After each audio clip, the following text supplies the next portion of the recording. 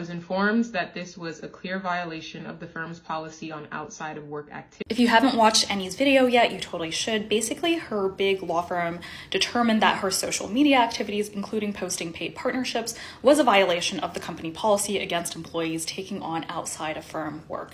This is a fairly standard uh, prohibition that most, if not all, big law firms have. And I want to give an example of the default level of control that a law firm expects to have over its associates, but in a slightly different context. Let's say that I was invited to a wedding a month from now on a Saturday, but I don't get a plus one. In order to go, I have to ask, Hey boyfriend, I am invited to a wedding on May 4th, and is it okay if on that Saturday I am unavailable during that time? I can only go if he says yes. Or let's say I want to take a weekly dance class. I have to ask, "Hey boyfriend, I would like to take a weekly dance class 7 to 8:30 p.m. on Wednesdays. Is it okay if I attend?" And I can only go if he says yes. And on some weeks he might say no and I wouldn't be able to go. Or even Hey boyfriend, I would like to join the board of a nonprofit that I'm really passionate about. Can I do that?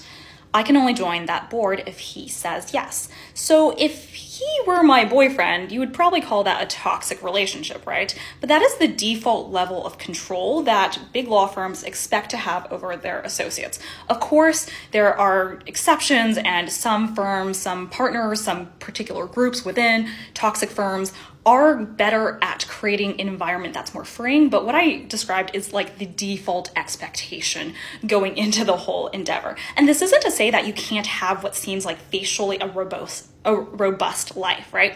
Like you can probably go to that wedding. You can probably attend that dance class most weeks. You can probably join that board, but you still need to ask first. And that is a little bit of an anachronistic relationship between the firm and the associates, but there's like a fundamental distrust and control that firms expect to have over its associates.